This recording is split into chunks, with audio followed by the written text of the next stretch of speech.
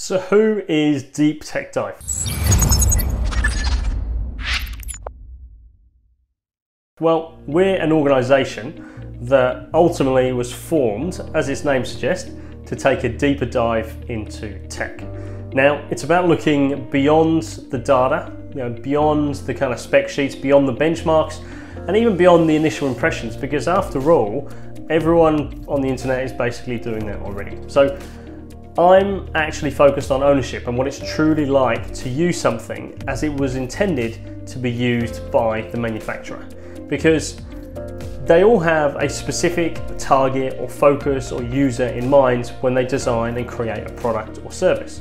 And so think of it basically as a series of information based on video editorial reviews with an emphasis on explaining what type of problem or even purpose the, the product and the manufacturer is actually trying to address.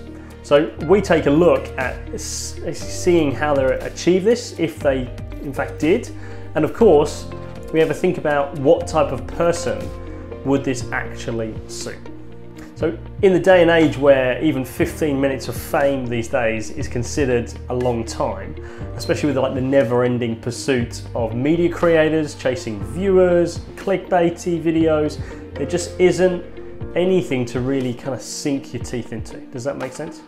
And so we wanted to take a look beyond the obvious and take a long format approach to whatever the technology or, or the product that we're actually looking into. So how did I even start? Well, I was actually looking to replace my own HP notebook and Apple MacBook. And I came across a lesser known company called Venom Computers out of Melbourne. I purchased one of their BlackBooks and they reached out to me to see if I'd actually be open to, to doing a, a long form segment because they saw one of my previously uh, previous videos that I put together.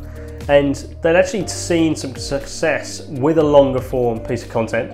And when they mentioned it to me, I thought, well, that's a really interesting idea because me too, when I've been make, looking to make a, a purchasing decision, I want to do a detailed dive into the product. I really want to know it back to front because these days it's not so easy to kind of really do that without actually having to buy it. So Venom felt the reviewers they'd reached out to had kind of moved into chasing more and more clicks while actually offering less and less depth.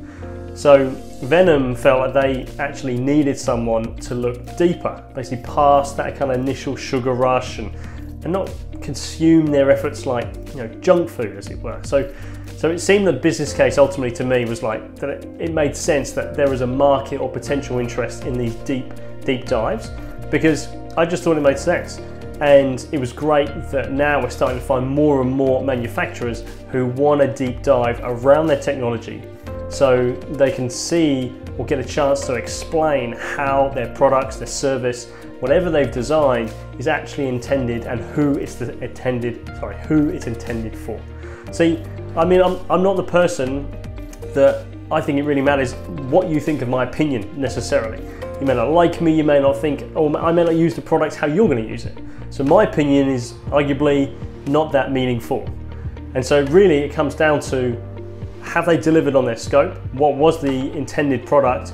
And what was the intended outcome? And how well have they met that need? And if you have that need, well, then this is, or whatever the product we're looking at, is right for you. Because if you think about it, these companies spend millions, if not billions of dollars developing products, and I don't believe any of them do it just because they're having a crack. You know, that is a really lax understanding from a reviewer market. Um, and really, it's not my job to sit here and dictate how well or well didn't they do it, or whether I like the feel of the metal on the back of the phone. Like, that's kind of crazy to me. What we're here to do is we believe a product, if it's not fit for purpose, we'll let the manufacturer know. But if it is, we'll feature it on here. And we'll actually go through how well and how well it aligns to their scope, their focus, and we'll talk about the energy and the effort they went to to actually and how they thought about the problem and who they were thinking of when it came to actually the design and who the end user was going to be. Because if you think about it, imagine going to rent an apartment, right? Where you go in and you get about five minutes to walk around, you have a quick look at the, the ceiling, the kitchen, the bathroom, and then all of a sudden you have to rent the house and you have to pay your deposit and then you moved in and then you're lying in bed or walking in through the kitchen and you suddenly see in the corner, oh crikey, I had no idea about that. Or, oh, the fridge is a bit crap or the floor's broken. It's all that small detail you actually miss in ownership. And that's why, to put it simply, my job here is explaining what your manufacturer intended, if they hit the mark, and who would actually benefit from it and why. And I'll mention, you know, what I like most about the products, sure, but they weren't necessarily built for me. And so, after all, ownership, I think, is what matters because you'll crave more and you'll, you'll be looking at something in much more detail when you're actually thinking about buying it. And it gives you a chance to see what it's actually going to be like when it's in your house, in your hands, in your, and you're using it. And you're going to be using it for a lot longer than anyone would normally be reviewing it. And uh, we think that good products deserve more than just a quick five minute flash in the flash in the pan detailed dive. So welcome to Deep Tech Dive. We're super excited to have you here and we certainly hope you enjoy some of the detailed uh, examinations of the products and services that we offer.